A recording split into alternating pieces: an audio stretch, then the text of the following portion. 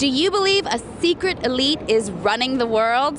This week, let's talk about that. There doesn't seem to be any compelling evidence. The world has too many uh, disparate and independently acting uh, things and functions in it for there to be sort of a single uh, cabal of individuals instructing them where to go. It just doesn't seem credible to me.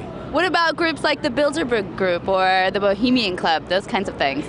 I think a lot of that is just sort of overblown and just rhetorical. Well, there are groups of people that are powerful men that get together once a year, and no one knows what they're talking about, but we know that they get together. What do you think they're talking about?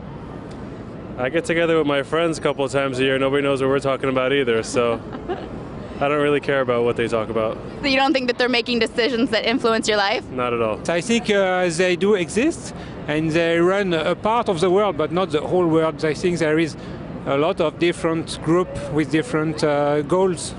So there's a little element of it, but it's not as evil as people might yes, think. Yes, exactly. I don't really have an opinion on it. I mean, if you know, rich people are rich people. They're going to have their own little country clubs. That's fine with me. It doesn't really bother me.